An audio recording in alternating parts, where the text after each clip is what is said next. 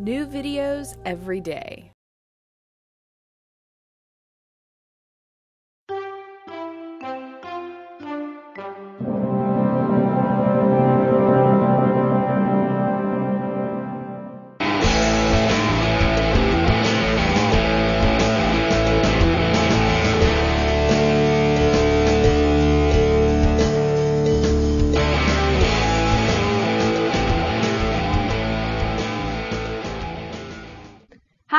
Welcome to Psychology by Sandy.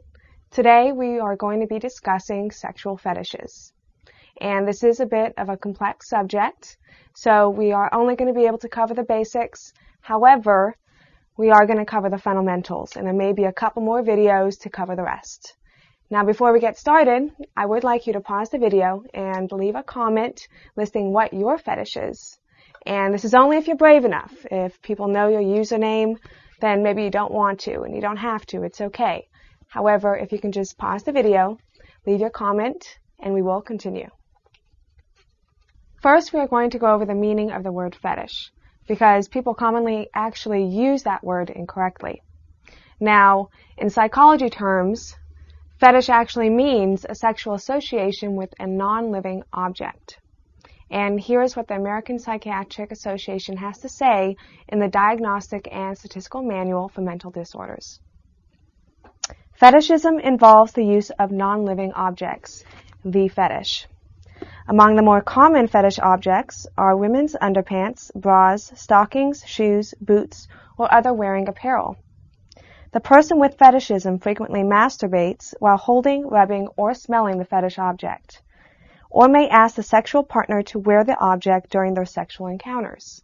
So yeah, you can have a sexual fetish for stockings or boots because they're non-living objects. But you wouldn't necessarily say that you have a foot fetish. Now, what people commonly refer to as a foot fetish, there's actually another word for that, and we are going to go over that in just a minute. However, let's first go over the origin of the word fetish. The word fetish comes from Latin factitious, which means artificial or man-made. Now, it also means an object that has supernatural powers, or more specifically, a man-made object that has powers over others. The word was first coined by Charles Brosses in 1757 while studying religions, more specifically African and Egyptian religions. And in these religions, they had these figurines which represented gods or persons and these figurines would represent some sort of power over the group or the tribe. Now, I'm sure you've heard of a voodoo doll. Well, a voodoo doll in this sense would be considered a fetish. Over the years, the word fetish has been bastardized to mean an object that one has some sort of sexual association with. So what would you call a foot fetish, which is not technically a fetish? In psychology terms, this is called paraphilia. Paraphilia Philia coming from the Greek word friendship or love. Paraphilia meaning above or beyond friendship or love. Now, in psychology terms, paraphilia means a sexual association with a non-sexual object, action, or thing. So a foot fetish would be a type of paraphilia. However, there's many different types. And here are some pretty crazy examples of some paraphilia. Aquaphilia, arousal from water and or in watery environments including bathtubs and swimming pools. Incestophilia, sexual attraction to a member of one's own family. Macrophilia, sexual attraction to giants, giantesses, or giant body parts, such as breasts and genitalia. Microphilia, sexual attraction to miniature people or miniature body parts, the opposite of macrophilia. Narratophilia, Sexual arousal and the use of dirty or obscene words to a partner. Necrophilia, sexual attraction to corpses. Pedophilia, sexual attraction to prepubescent children. Plushophilia, sexual attraction to stuffed animals and or people dressed in animal costumes. Schediaphilia, sexual attraction to cartoon characters. Zoophilia, sexual attraction to animals. So the thing about all these different types of paraphilia is they are psychologically the same thing. It's a sexual association with something not considered sexual.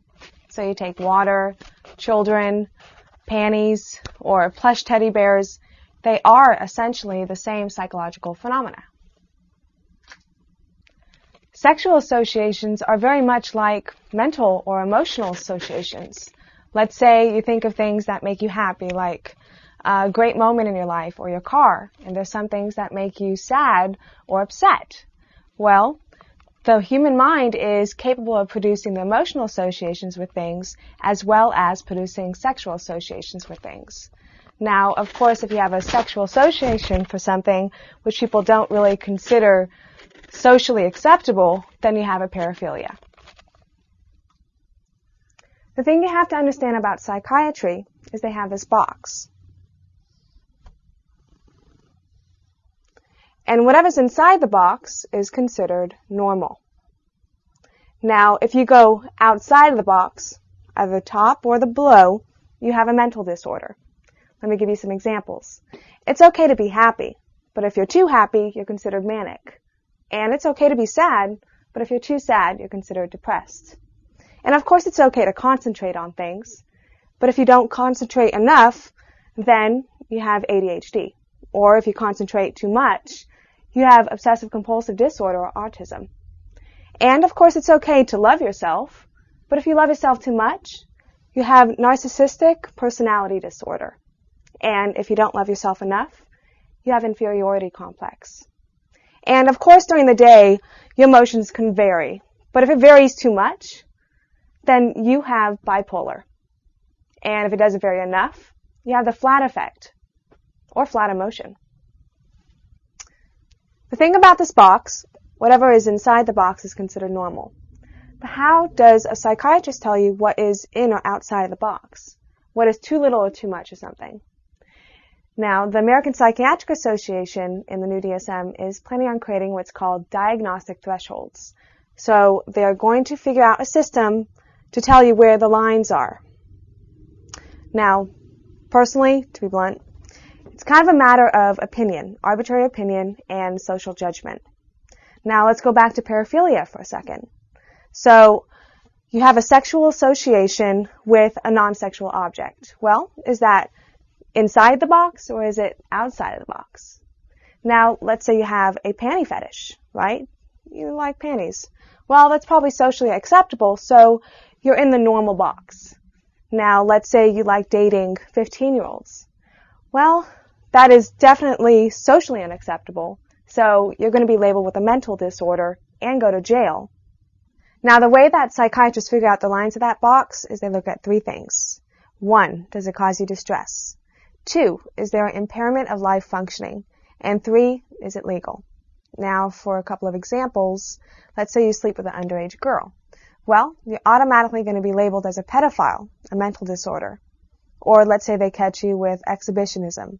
Well, not only are you going to be criminally prosecuted, but they are going to automatically label you with the mental disorder exhibitionism. So those three things that psychiatrists base it upon, right? Distress, impairment of social function, or is it legal, don't have to be a disease. It can just be a, a moral problem. You know, it's a judgment. Is it right or is it wrong? Let me give you an example. Let's say you are turned on by teddy bears. Now, do you feel that it's right or wrong that you're turned on by teddy bears? Now that can cause some distress, can it? Or let's take the case of you doing something illegal. Well, of course it's going to cause a little bit of impairment of social function if you're thrown in jail for a couple of years. Or let's say you really get off on spanking your wife, and she's not having any of it at all. Well, that's going to cause a little bit of social function impairment as well. So, you can have those three things, and it's not a disease. It's either a social judgment or it's a moral decision on whether it's right or it's wrong.